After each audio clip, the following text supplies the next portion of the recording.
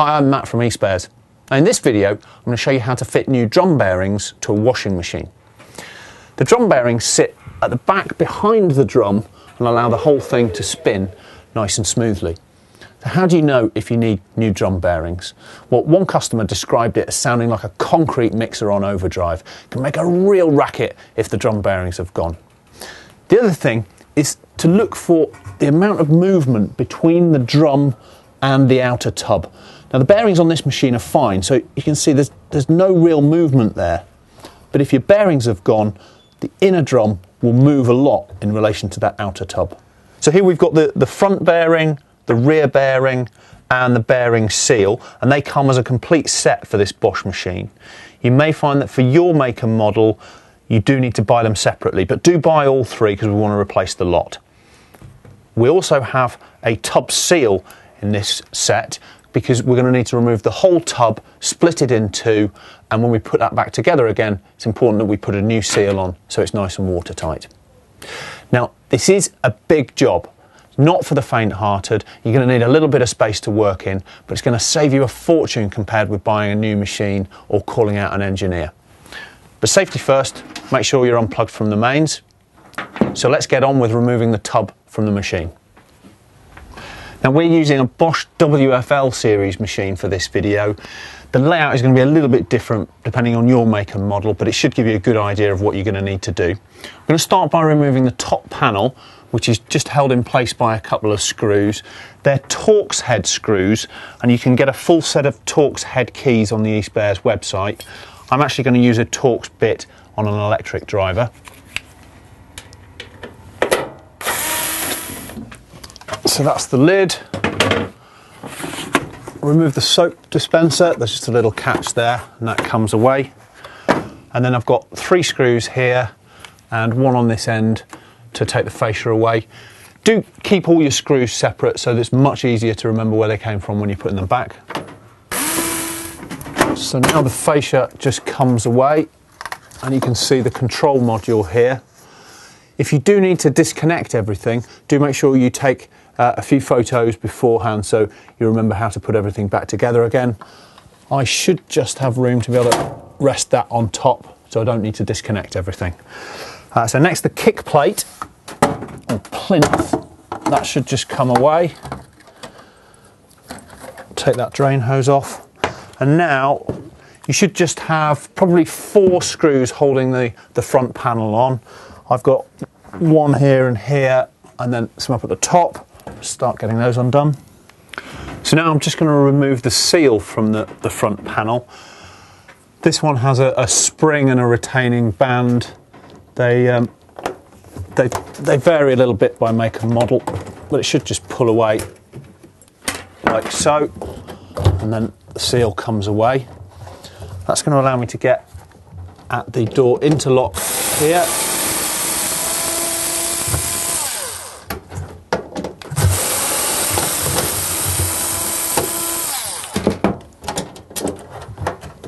There we are. And that should mean that I can lift the whole of the front panel away. There we go. Okay, so now I need to get this detergent tray out of the way. Remove that cross member. Then if we just pull it through, we should be able to get at this clip on the detergent hose. Let's use my pliers.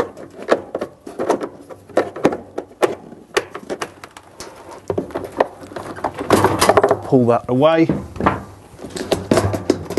And then I can get that out of the way at the back there.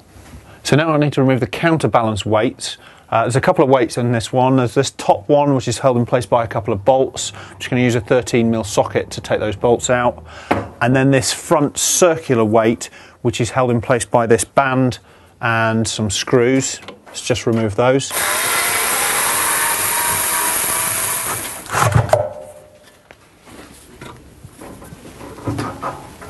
So I'm going to uncouple the wires from the element, but before I do, I'm just going to take a, a photo with my camera phone.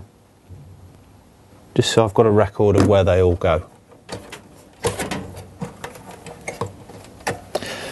And then I'm going to remove the element as well. Just undo this nut. Don't undo it all the way, just until it's just past the end of the bolt like that.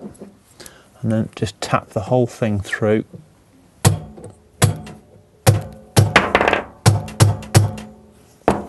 go, that should release the seal and the element just slides away.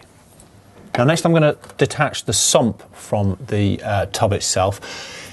Use your drain hose to drain as much water out of there as you possibly can. Do be prepared for a little bit of spillage as well.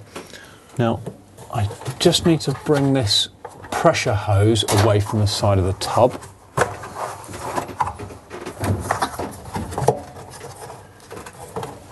There we go.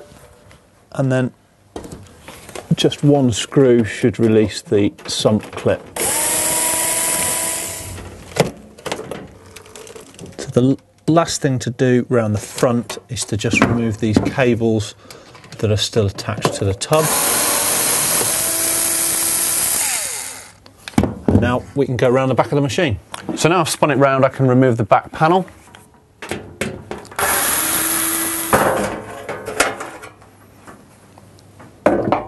Go, that's the back panel off. Let's just take the belt off. If you just pull it to one side and then just roll it over, it'll come off. Just watch your fingers in there. So like with the element, might be a good idea just to take a photo of the connector block for the motor and then and then disconnect those wires. So to remove the motor itself, we just got these couple of bolts to undo.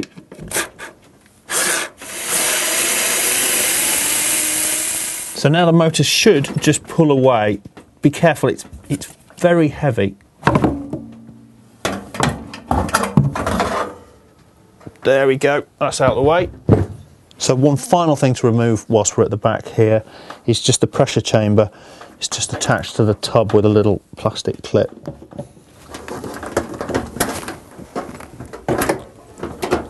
That's away. So that's everything that was attached to the tub now removed.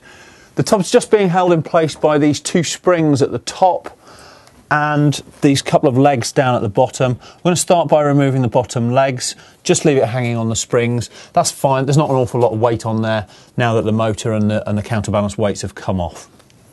Now the legs are attached in a variety of different ways.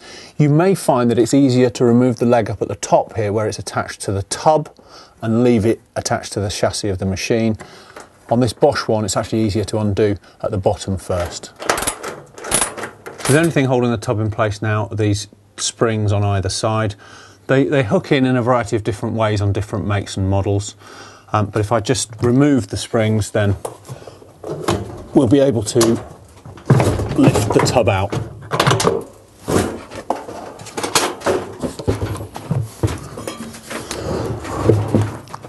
There we go, that's the tub and drum out of the machine. So I'm just going to pop the door seal off. Just need to get something behind this retaining clip.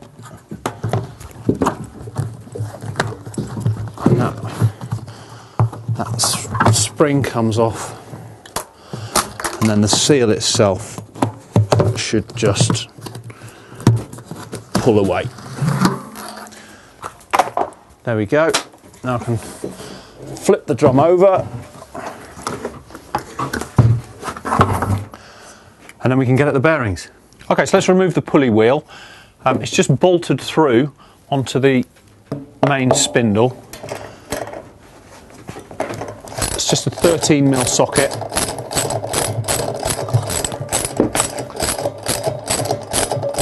And on this one I can feel the, the drum dropping through as I undo that bolt.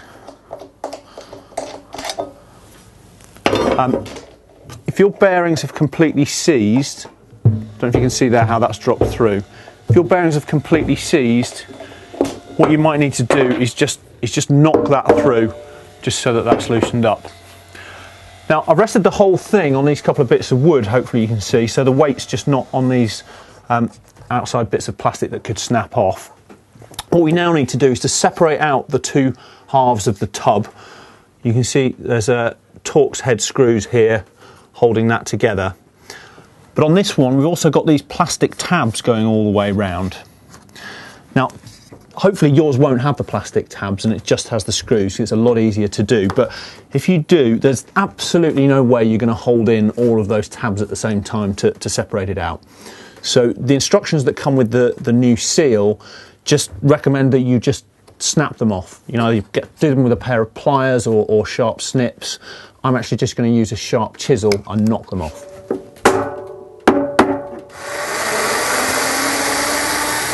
Okay, so I'm just going to pop the whole thing now on its side. You can see it's already coming apart. I just pull away the front part of the tub. I'll put that to one side. And the inner drum should just slide out. There we go. You can see the spindle there. It's attached to the main part of the drum with by this uh, sometimes called a spider. That shows you why you should run a service wash once a month with a limescale and detergent remover. It's quite grim. So in the rear part of the tub, here we can see the bearings in here, and that's what we're going to need to remove first. So here you can see the bearing seal. The large front bearing sits just behind that and then the smaller rear bearing some way set back from that. That's how it's arranged. So we're going to start by punching out the old smaller rear bearing. I've got the, the whole tub sat on a couple of pieces of wood just to give me a bit of clearance so I can punch that through. And then I'm just going to put the chisel through and gently tap that that bearing through. Just keep moving round we knock it out evenly. The main thing is that we don't damage the casing that the bearing sits in. There we go. Okay, so same again for the uh, the front bearing. I'm just going to punch that through. Now I've got the whole tub just resting on the table like this. That, that's going to be fine. If yours has got plastic location lugs, just make sure that you don't snap those off. Put the whole thing up on some woods um, to give them some protection. So again, just start tapping and working your way round. Don't worry about the seal, that'll just come off as the as the bearing comes out.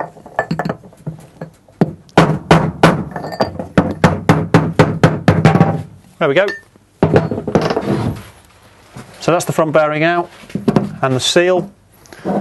Now next step, let's give this a really good clean. So that's looking much better. Now we've used a, a limescale cleaner to get all of that gunk off the back and then really cleaned um, inside the housing here with a soft cloth. Really important that we've got no gunk in there that's going to get inside the bearings and damage them. So we're going to knock the bearing down as far as this race or lip here and it's just going to rest up against there. Now as we're knocking the bearing in it's really important that we, we only hit against this very edge of the bearing case here and not against the centre part, that's just going to damage it and we'll be, we'll be back where we started.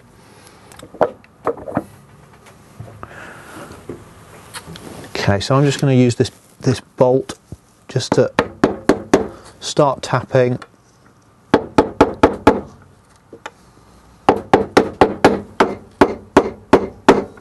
Keep working your way around evenly.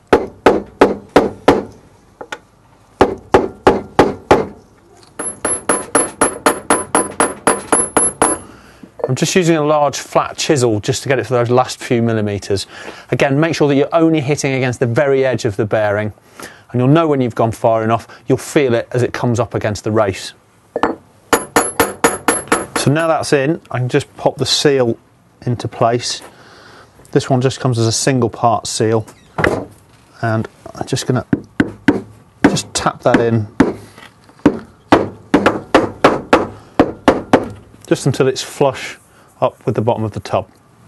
So for the outer bearing, again, make sure that this is really, really clean and then just drop it into place and just gently start tapping that outside edge.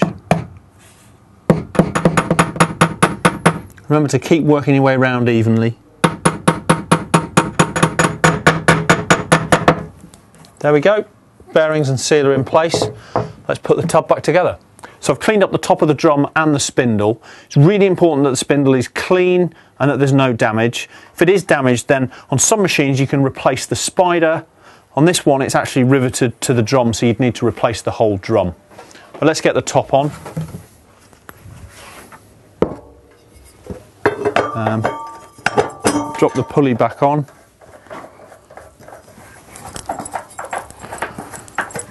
And tighten that up. So let's put the tub back together. Before we do, we're going to need to put in a brand new seal. Now, you need to find the join in the seal. It's very often marked. And put that at the top of the tub. And just feed it into the groove all the way around. So the seal's in place and pushed down to the bottom of the groove all the way around. And then I'm just going to run a bead of silicon sealant all the way around. So now I can put the front half of the tub on.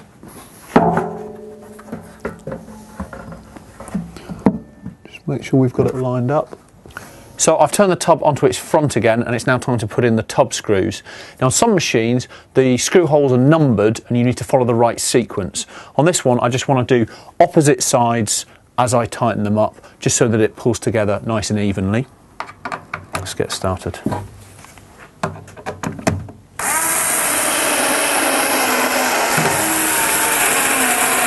So that's my tub all back in one piece. Now, if you wanted to check whether yours was watertight, wait for your silicon sealant to dry, just flip it over, fill it up with water so that the water line is above the line of the seal, and check for leaks. I'm quite happy with this one, so it just remains for me to put the whole machine back together. There we go, new bearings on a washing machine. By no means an easy task, but if you've got a bit of time and plenty of space, certainly one that can save you lots of money when you fix it yourself. Bearings and seals, along with drums and spiders for all makes and models, are available at eSpares.co.uk. Thanks for watching.